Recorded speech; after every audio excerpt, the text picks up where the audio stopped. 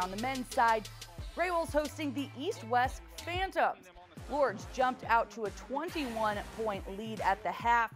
In the second, Gray Wolves forced the turnover. Cliff Snow in the corner launches it down the floor. Little Anderson finishes with the two handed slam. Anderson and Nick Welsh led all scorers with 18 points apiece. Lourdes picks up its first win of the season, defeating East West 92 77.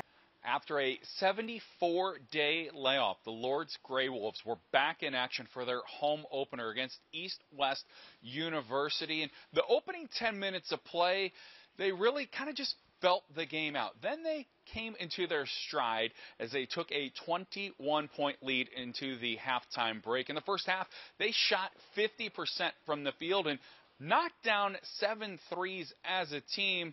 And then East West came back in the second half. Within the first 10 minutes, they made it a game. They had a chance to get back within 10, but Lourdes responded. They settled in and went on a 14 to 1 scoring run. They would lead by as many as 30 points in this second half with a short bench. They only had 10 players available tonight. Some players battling injuries, trying to battle back and get healthy for conference play, but very balanced scoring effort. Five different players for the Gray Wolves in double figures, led by senior Nick Welch with a game high 18 points. Little Anderson, the sophomore local product from Cardinal Stritch, also scored 18 points.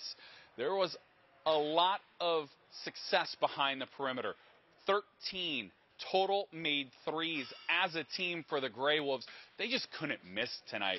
Lourdes earns their first victory of the season. They move to 1 and 2, knocking off East West by a final count of 92 to 77.